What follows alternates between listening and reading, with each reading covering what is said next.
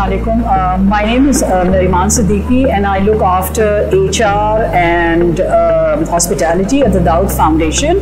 So this also extends to obviously the MagnifiScience Center. It is the first of its kind in Pakistan. So in a sense, we're trailblazers. Now trailblazing is very exciting and adventurous, but it also has its challenges and challenges there are many. From an HR point of view, I'll tell you that the challenge of finding the right skill, the right experience, the right talent, experience of having worked in a, a science center, a museum, if that's not available. So we have to then, as a team, we have to be creative and innovative and uh, what we're doing is we're taking skills that are available and then we're providing training. So the cafe here, which I, I think you can see, which is called Foodology.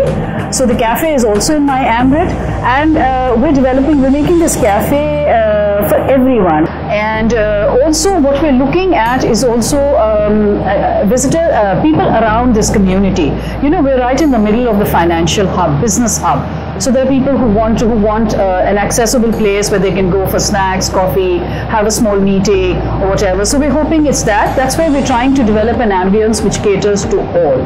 And as far as children are concerned, since it is part of the science center, we uh, we're going to make it a bit of a center of learning in the sense that maybe children will know about nutritional value, about food, where it comes from, or what sort of food processing is done. My name is Rabia Tabassum and uh, I am the Assistant Manager of Human Resources here at the Dawood Foundation. I am a part of Nariman's team. My role for the Science Center has been to contribute in ideas to make this cafe, the foodology, a, experience for the visitors to not just come here and eat food but also get some learning. What we've done over here, we've made a whole wall that has utensils that are used across the country. They have old utensils, they have new utensils.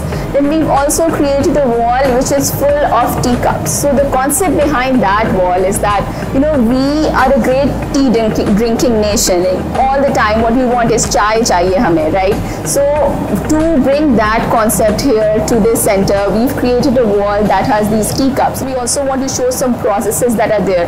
So the utensils that we've shown over here, they are showing a process that, you know, goes in the food making for foodology.